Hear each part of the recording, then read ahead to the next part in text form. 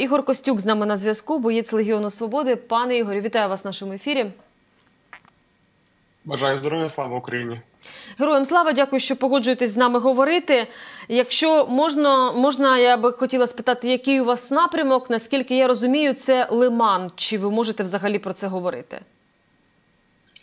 Е, це напрямок, можна сказати, від Лиману і в сторону Кремінної. Так, тобто, uh -huh, це ця ділянка фронту. Ми її обороняємо вже тут е, фактично від 23-го року, там фактично з осені 22-го. Тому про цей напрямок можемо поспілкуватися. Ну і не тільки. Чи можете нам розказати, яка зараз поточна ситуація, от саме на вашому напрямку?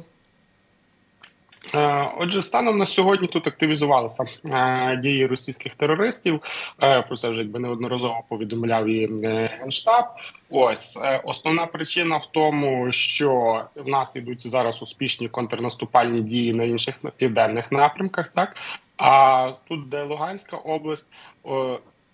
Е, російські терористи намагаються знайти хоч якесь слабке місце в лінії оборони ЗСУ, е, щоб показати якісь успіхи. Плюс вони тут зосередили дуже багато своєї живої сили. Е, в них відбулися ротації. Якщо раніше на цьому напрямку. Ми могли ще спостерігати так званих там терористів кадирівців, вагнерівців. Так ці групи військ кажуть, були частково знищені, частково вони там самостійно зробили жест доброї волі. А на їх місце е, докинулися резерви, чмобіки і так далі. Відповідно, поки є свіже м'ясо, їх швидко відправляють на наші позиції, поки ще вони не встигли оготитись, зрозуміти, що тут все укріплено, все добре. Тобто їм там дурять голову, що умовно кажучи, е, наша лінія захищена, може буде швидко зробити прорив на лиман, здійснити мрію е, різних путінських посіпак про те, щоб відновити контроль на якихось е, певних mm -hmm. територіях, які раніше їм вже вдалося окуповувати, але цього не буде. Ну, ця саме ділянка там по лиману, там же ж планувалося, як вони говорили тоді, е, велике наступлення. Оце воно, воно мало десь бути, і судячи з усього, воно не відбулося, так? Ну я особисто і наші бійці Легіону Свобода про ці великі наступлення слухаємо. А вже десь від листопада місяця 2022 року. Ось були вже неодноразові заяви в Кремлі повернути назад цю територію перед новим роком і так далі. Тобто, це все маячня. Е, єдине, що в них зараз трохи покращилася ситуація в небі з БПЛА, ну якби дрони, камікадзе і так далі. Е, з цим в них якби ситуація більш оптимальніша сталася, тому що живої сили ми їм знищили дуже багато. Ми їм знищили дуже багато а важкої техніки. З цим у них проблема, так само як і проблема вже із боєприпасами і з складами. Ось, але через те, що завжди вони поновлюються, поновлюються, поновлюються, якби затягується процес е, звільнення території. Але те, що вони постійно хочуть десь прорватися, це правда. Це дійсно важко. Хлопці постійно є в обороні, є в активному е, захисті. Намагаємося так само в е, кажуть в перервах між тими моментами, коли вони наступають звільняти аналогічно якісь території, посадки і поля, е, щоб чим швидше вийти на кордони 91-го року, як мінімум. Пане Ігорю, ви сказали, що цих е, мобілізованих свіжих, е, про яких ми щойно згадали, їх, начебто, там дезінформують. Так а що їм розказують, що українці не готові воювати, чи ми слабі?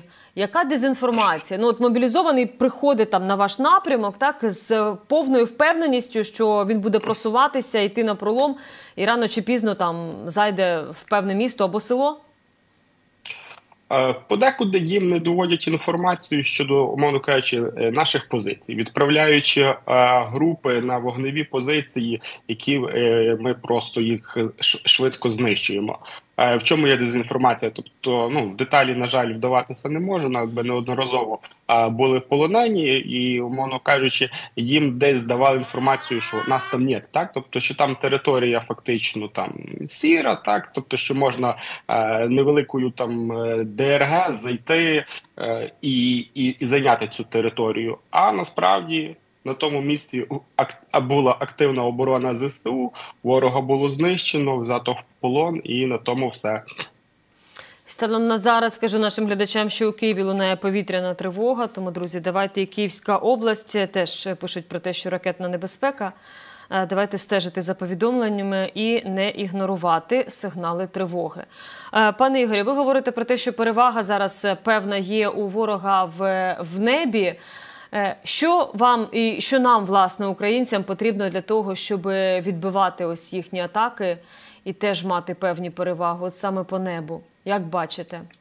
Е, В першу чергу почнемо якби з маленького. Це реби, радіоелектронна розвідка. Тобто а, потрібно працювати в напрямку блокування о, ось цих дронів, антидронові рушниці, різні технології, які би могли глушити сигнали, тому що е, зі сторони Російської Федерації це активно застосовується. І якщо е, поспілкуєтеся з людьми, які мають вже безпосередній доступ до аеророзвідки, до роботи з дронами, вони вам більше зможуть розказати, що є в цьому проблема, і ми маємо їм створювати аналогічні е, проблеми по знищенню їхніх дронів.